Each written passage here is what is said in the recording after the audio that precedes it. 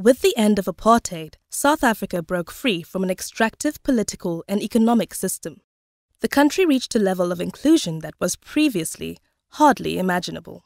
But many challenges still lie ahead to consolidate a political and economic system that is sufficiently inclusive to be stable and prosperous in the longer term.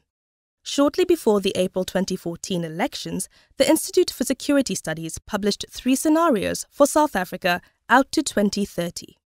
Bafana Bafana described the current uninspiring pathway. Mandela Magic relied on the determined implementation of the National Development Plan. In a nation divided, competition over resources fuels factional politics, and South Africa's international credit rating is reduced to junk status.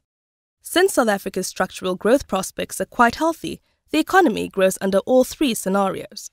But only Mandela Magic sees rapid enough growth to reduce unemployment, lessen inequality, and alleviate extreme poverty. In our latest scenarios, we adjust our growth forecasts downwards.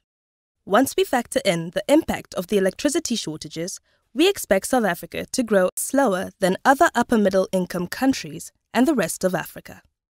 We still expect things to get better, but slowly. Having lost some support during the 2014 elections, the ANC is likely to continue to lose popularity with each successive election. Slow growth will have implications for the governing party, together with a rapid increase in the number of born free voters, continued urbanization, and improvements in education. Support for opposition parties will grow. Unemployment will remain a huge challenge, and this is despite the fact that the number of employed people is set to increase from 15 to 25 million by 2030. More people earning wages will increase tax revenues, the size of the economy will expand, and improve social stability. The size of the black middle class will continue to grow in leaps and bounds, although inequality will remain stubbornly high. But the margin for error has become slim.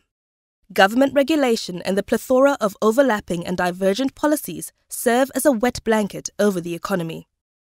Insufficient efforts are being made to grow the economy as the ruling party opts for an exclusive and divisive policy agenda. South Africa needs to rediscover the political inclusion that lay at the heart of the miracle of its transition to democracy. Without political inclusion, our economy will not prosper in the longer term.